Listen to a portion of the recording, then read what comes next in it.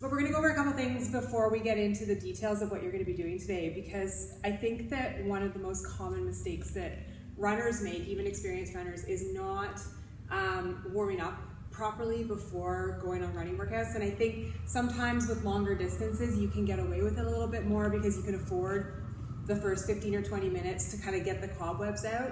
Um, but uh, with a workout like today's, where it's shorter, you don't want to spend that time being creaky in the beginning and you want to have a proper warm up just like we would for anything else. So what today's workout is going to be um, is um, an AFAP, I guess, as far as possible in 20 minutes. So the idea is that you're running and it can either be on road or on trail. It's basically you need to move yourself uh, for 20 minutes for a max distance. So ideally you're running. Um, the score is a one direction run, so you're gonna leave your house or whatever the case is, and you go for 20 minutes, and then you're just gonna make your way home at whatever pace you want. So the best way to keep track of it is if you've got something like a Garmin, you can do that. If you don't have that, you can use an app like Strava, and there's also a bunch of other different apps that you can use to keep track of your distance. Um, so with your warm up, um, what I'm gonna get you guys to start doing is just a dynamic range of motion. So as you normally would, spend the time, find those things. If anything sticks out as being maybe more stiff than you expected, you might want to spend a little extra time on that. I know most of us are pretty, pretty sore from day one, um, but hopefully the mobility from day two helps a little bit, although the squats probably didn't. So uh, certainly you're to need to warm up well. So starting with the dynamic range of motion and then going through manual ankle mobility. So most of you should know this already.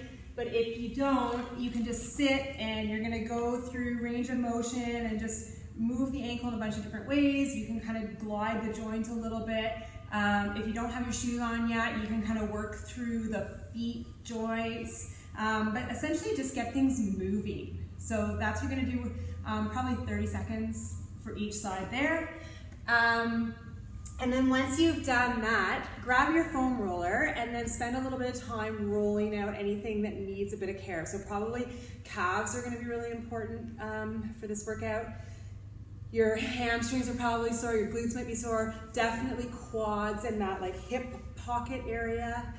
Um, and then I think lats are really valuable as well because they can kind of bind your rib cage so it makes it harder to get proper rotation when you're running. So I'd roll those as well. Um, when you're done that, so so far totally normal as we would do. Um, when you're done that, get into some mountain climbers. So um, you guys know how to do those. But just spending a little bit of time, wait, just spend a little bit of time in the front position, just kind of working through the range before you switch and just kind of hang out in there and, and make the most of it. So do about 10 of those total. And then when you're done that, um, I'm gonna get you to do a walking lunge with an overhead range. So what you're gonna do is just do a walking lunge as you normally would, but when you go into that bottom position, stretch your lats open overhead, come back to match your feet, stretch overhead, and go for about 50 feet. So roughly the distance that you would go um, on the CrossFit side of the gym.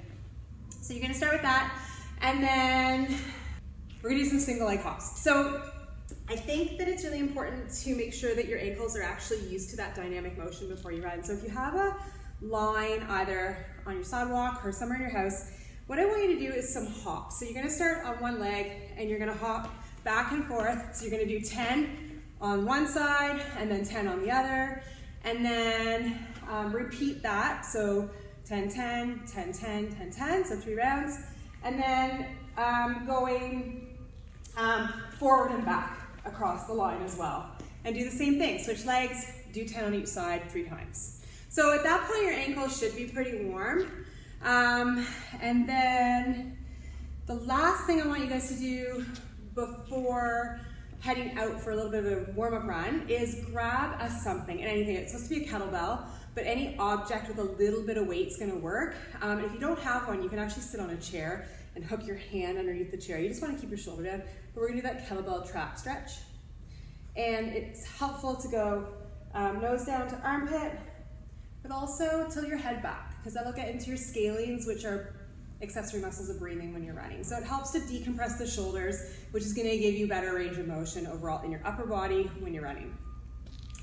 So once you've done that, head outside. And what I want you to do is do a sprint. So you're gonna go about 100 meters at 60% effort and then jog back nice and slow.